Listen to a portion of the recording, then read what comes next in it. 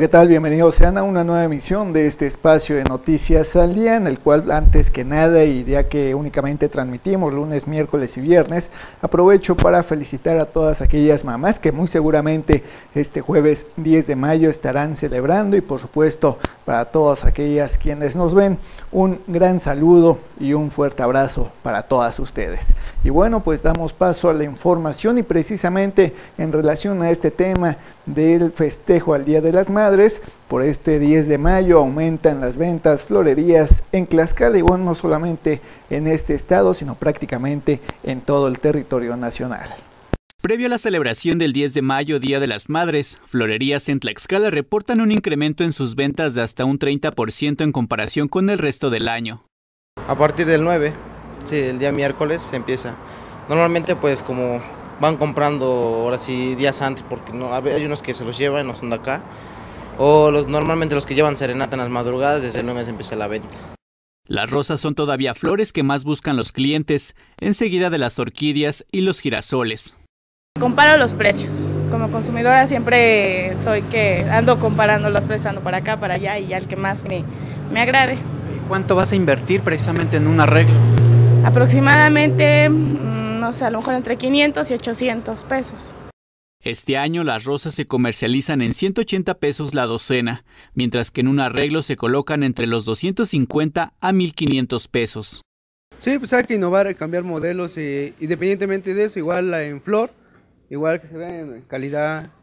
y ahora sí, que lleve variedad, más que nada. Los comerciantes de flores reconocen que justo el 10 de mayo los productos incrementarán un poco más su precio. La recomendación en esta festividad es comparar costos y calidad para ajustar su presupuesto y con ello evitar deudas.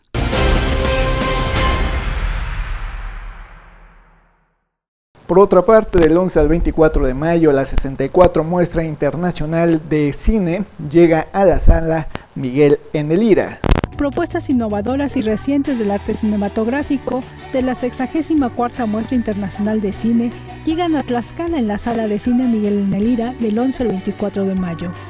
El público tlaxcalteca tendrá la oportunidad de ver 14 cintas reconocidas en festivales internacionales y por la crítica especializada. Amante por un día, Corazón Silencioso, El Ciudadano Ilustre, El Tercer Asesinato, Ensiriados, Joaquín, La Maestra, La Maldición de Telma, Lucky, Pantera Negra, Porto, Rostros y Lugares, Stalker La Zona y Un Final Feliz. Largometrajes dirigidos por cineastas como Andrei Tarkovsky, Michael Haneke y Agnes Barda. Integran la lista de las 14 películas que se proyectarán en la 64 Muestra Internacional de Cine del 11 al 24 de mayo. Consulta la programación en www.sndigital.mx y en www.coracit.gov.mx.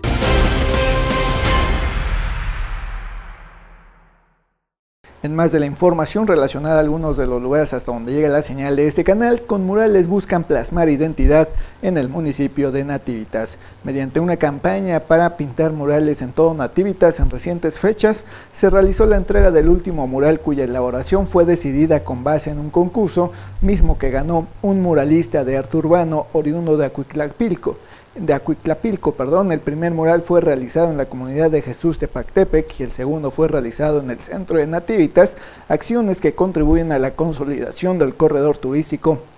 al que pertenece Nativitas y que ha generado una buena aceptación entre los habitantes.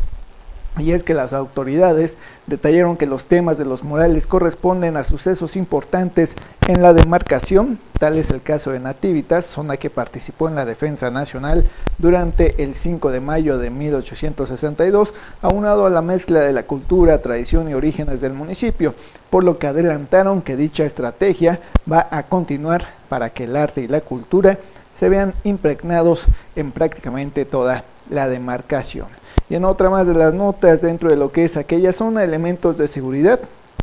aseguran en Ativitas y Huayotlipan 12 unidades con combustible ilícito. La Comisión Estatal de Seguridad, la CES, a través de la División de Operaciones Región Activitas en coordinación con personal militar adscrito a la 23 Zona Militar de la CN, Seguridad Física de Pemex y Policía Municipal de Nativitas aseguraron en acciones diferentes 12 vehículos abandonados por personas que huyeron al notar la presencia de las fuerzas del orden. El primer hecho se registró en Avenida Hidalgo de la localidad de Jesús de Pactepec, perteneciente a Nativitas, donde ubicaron 11 camionetas abandonadas, tres de ellas cargadas con un total de 5.850 litros de combustible y 30 bidones, mientras que elementos de la División de Operaciones de la CES,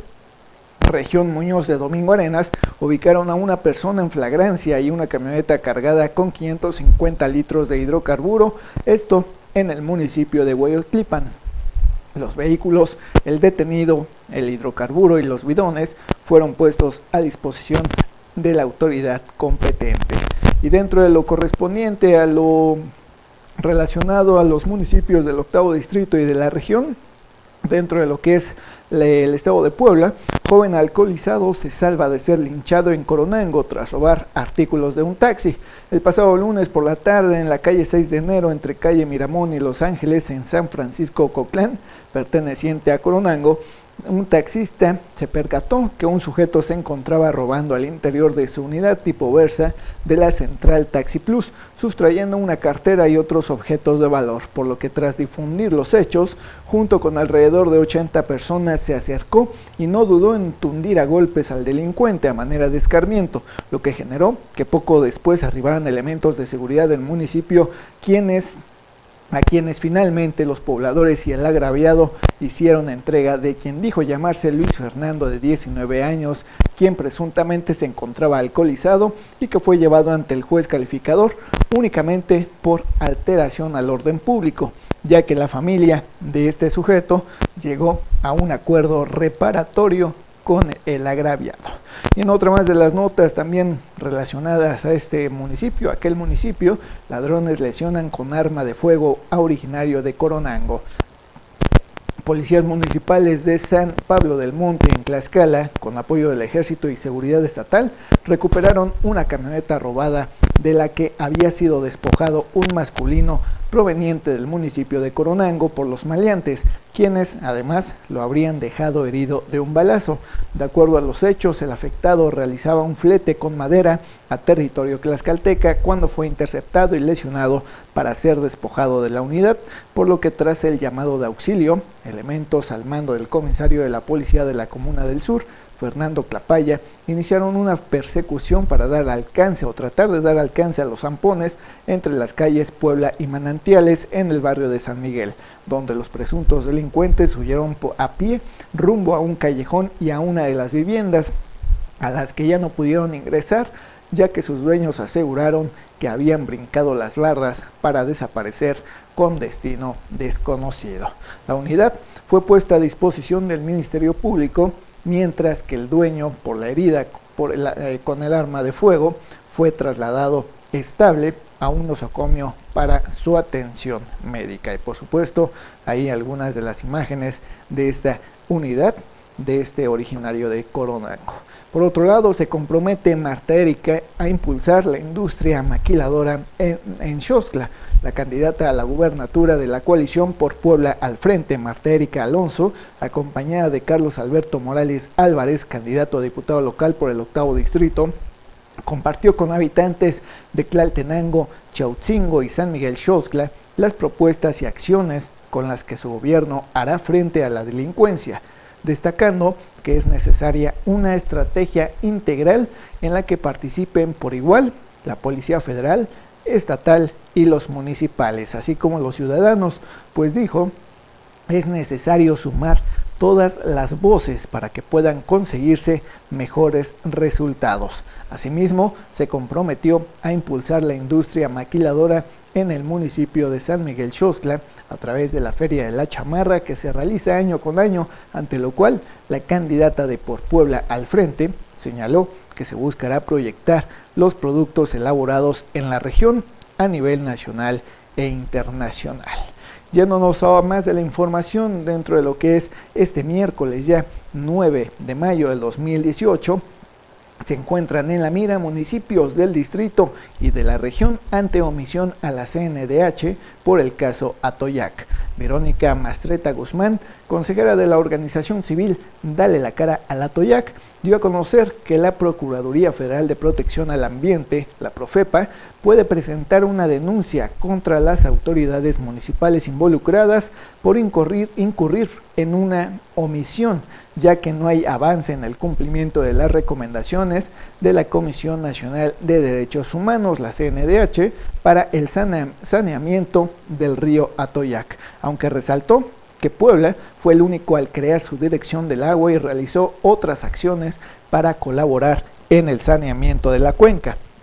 ya que el resto de los ayuntamientos exhortados desde, desde 2015 no, no, han asumido su responsabilidad, entre ellos Chaucingo, Coronango, Juan Cebonilla, Domingo Arenas, San Andrés Calpan, San Andrés Cholula y San Pedro Cholula, San Felipe Teotlalcingo, San Martín Texmelucan, San Miguel Xoscla, San Salvador el Verde, San Matías Calancaleca, Tlahuapan, Tlaltenango y siete municipios más. Finalmente, Verónica Mastreta indicó que cada ayuntamiento debe contar con su plan de desarrollo urbano para que haya ordenamiento y se definan las atribuciones de cada institución, además de ser el primer orden de gobierno que debe de llevar a cabo revisiones y solicitar la intervención por parte del Estado y la Federación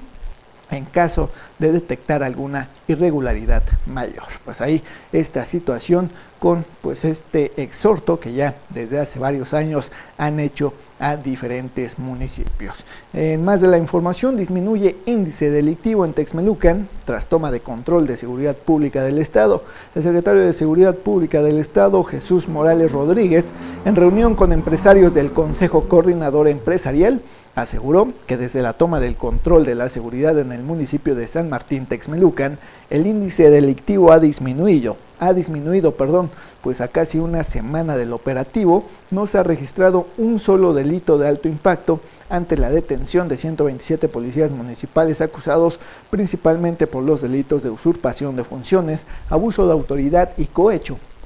Asimismo agregó que este miércoles la dependencia a su cargo estaría realizando un corte para determinar cuántos policías municipales seguirían en prisión preventiva o serán vinculados a proceso, pues aún siguen integrándose las carpetas de investigación. Pero esto no es todo dentro de lo que es aquella zona, aquel municipio, porque ahora la comuna de Texmelucan desconoce faltante de obras en el Observatorio de Gastos. El Ayuntamiento de San Martín Texmelucan desconoce el por qué cinco obras del ejercicio fiscal 2017 aparecen sin ser reportadas por la Secretaría de Hacienda, donde además se señala un faltante de más de 6 millones de pesos. Y es que de acuerdo a información proporcionada por Observatorio de Gastos, el Ayuntamiento de Texmelucan, al cierre del primer trimestre de este año, no había reportado la ejecución de cinco obras por un valor total de 6.8 millones de pesos que debieron ser ejecutadas en el 2017. María del Carmen López Benítez, encargada del despacho de la Dirección de Obras Públicas, Señaló que todas las obras han sido ejecutadas y reportadas en tiempo y forma, por lo que desconoce el por qué en el observatorio de gastos no aparecen. Incluso aseguró que algunas de las obras ya fueron ejecutadas, comprobadas y reportadas a la auditoría del Estado de Puebla, aunque reconoció que en ocasiones, por cuestiones climáticas principalmente, las obras no se pueden terminar de acuerdo a lo proyectado, no obstante, no obstante se cumplió con los términos que marca la ley. Pues ahí está otra situación dentro de este otro de los temas que tienen que ver con el municipio de Texmelucan y que tendrán que resolver ante las instancias correspondientes. Ya para ir concluyendo con nuestra información de este día, estatales aseguran más de 2.000 litros de combustible ilícito en comunidad perteneciente a Huejotzingo. En distintas acciones, elementos de la Policía Estatal recuperaron un vehículo en la Junta Auxiliar de San Andrés Azumacla de Puebla Capital y dos en el municipio de Huejotzingo, los cuales servían para trasladar aproximadamente 4.000 litros de gasolina robada. En el primer caso, durante un recorrido de seguridad llevado a cabo en dicha junta auxiliar de la capital poblana, elementos estatales aseguraron un automóvil marca Nissan tipo Versa que presentaba denuncia por robo ante el sistema Plataforma México, mientras que en una segunda intervención durante un, durante un patrullaje preventivo en la localidad de Santana, Chalmemilulco, junta auxiliar perteneciente a Huejotzingo, efectivos hallaron dos camionetas aparentemente abandonadas que eh, transportaban aproximadamente 2.200 litros de hidrocarburo de procedencia ilícita. Los vehículos asegurados junto con el combustible fueron puestos a disposición de la autoridad correspondiente. Y con esta información es como eh, finalizamos una emisión más de este espacio de noticias al día y bueno pues aprovechando este 9 de mayo y queremos aprovechar también pues para festejar tal como les comentaba en un principio para festejar celebrar, para darle una felicitación a todas ustedes, a todas aquellas mamás que nos siguen, que siguen cada una de nuestras emisiones y por supuesto no solamente aquellas que se encuentran entre nosotros, sino también recordar a todas aquellas mamás que se nos han adelantado en el camino y que bueno, pues de alguna manera también las recordamos con mucho cariño. cariño. Muchas felicidades a todas ustedes, pasen estupendo y también eh, de manera personal a todas aquellas primas, a todas aquellas amigas, a todas aquellas tías, familia que nos ve principalmente a través de redes sociales. También una felicitación para todos ustedes que pues de alguna manera no nos ven directamente dentro de lo que es el canal, la televisora Metrópoli Televisión, pero pues como saben también estamos eh, o subimos cada una de las emisiones en nuestras redes sociales, principalmente en YouTube y en Facebook, en donde pues nos encuentran como Garco Producciones. Muchas felicidades también para todos ustedes en